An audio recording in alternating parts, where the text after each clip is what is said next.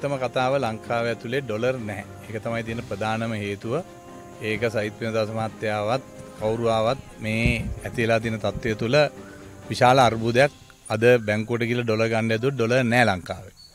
එතකොට ලංකාවට මේවා ආනයනය කරනකොට අපිට ගෙවන්ඩලා තින්නේ ඩොලවලින් තෙල්ලානය කිරීමේ තනික් තෙවල් ආනය කිරීම ඒ නිසා තමයි ආනයනය විශාල සංඛ්‍යාවක් සීම කරලති.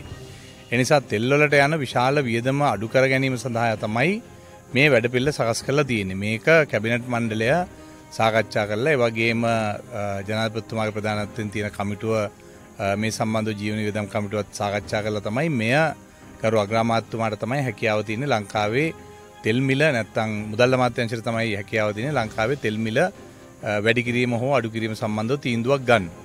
නමුත් මේ සම්බන්ධව අදහස් ඉදිරිපත් කිරීම ගම්මන් පිළ ඇමතුමාට තිබුණ කාරණයක් නිසා තමයි ඒ ආයතන දෙකම විශේෂයෙන් විදුලි බල මණ්ඩලයත් අද තෙල් සංස්ථාවත් විශාල අර්බුදයක ඉන්නවා නය අර්බුදයක.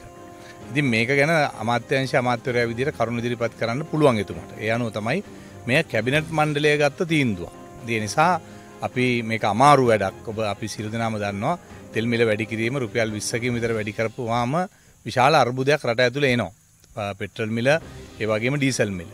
අපි ඒකට විරුද්ධයි වැඩි කිරීම සම්බන්ධව අපිත් විරෝධතාවයක් තියෙනවා. නමුත් ප්‍රශ්න තියන්නේ රටක් විදිහට අපිට දැන් මේකට මුහුණ දෙන්න සිද්ධ වෙලා තියෙනවා. ඒතකොට මුහුණ දෙනකොට ආණ්ඩුව විදිහට විපක්ෂය මොන කතා කිව්වත් විපක්ෂයක් විදිහට හැමදාම අපි කරන්නේ කොයි අපි හිටියත් කවුරු හිටියත් මේවා වැඩි කරපුවාම අපි ඔක්කොම පාරට බහිනවා. නමුත් යථාර්ථයට අපි මුහුණ දෙන්න ඕනේ. ඒ අනුව තෙල් මිල වැඩිවීම තුළ විශාල ප්‍රශ්නයක් ජනතාවට එනවා. නමුත් ඒ වගේම රටේ තියෙන ඩොලර් ප්‍රමාණය නැතිවීම තුළ අපි විශාල අර්බුදයකින් ආර්ථික අර්බුදයක.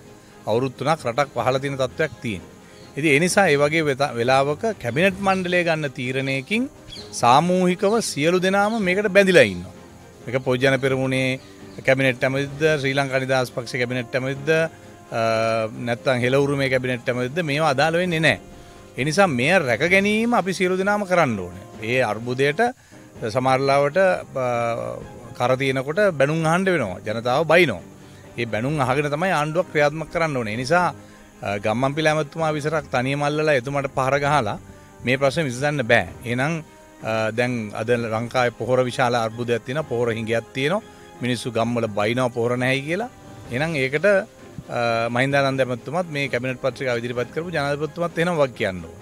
මේ විදිහට ගත්තොත් ඇමතිවරු හැම එක්කෙනාටම ගෙදර යන්න වෙනවා. ඒ නිසා මම බොහොම පැහැදිලිව කියන්න කැමතියි පක්ෂයක් විදිහට ශ්‍රී ලංකා නිදහස් පක්ෂය. මේ වෙලාවේ අපි ඉන්න අර්බුදය හොඳින් තේරුම් අරගෙන අපේ ආණ්ඩුව වැරදි වැඩ කරන්නතුව ආණ්ඩුව හරිදයකට යොමු කරන්න පුළුවන් තැනකට අපි තල්ලු කරනවා මිසක පුද්ගලිකව එක ඇමතිවරුන්ට පහරගහන්න ශ්‍රී ලංකා නිදහස් පක්ෂ සූදනම් වෙන්න වෙන්නේ නැහැ කියල කාරණය මෙතනිදි මතු කරන නිසා මහිතන්නේ කැබිනට් සාමූහික වගකීම තමයි මේ අවසාන තීරණය. තෙල්මිල වැඩිකරේ මුළු කැබිනට් මන්ලේම සාකච්ඡා කරලා. එතකොට කැබිනට් මන්ලේ ආරක්ෂා කරන්න ඕන කැබිනට් මන්ඩිට අදාලෝන පක්ෂත් ඒක ආරක්ෂා කරන්න එනිසා මහිතන්නේ මේක තමයි ඇත්ත තත්ත්වය කියලයි මං විශ්වාස කරන්න. Breaking.lk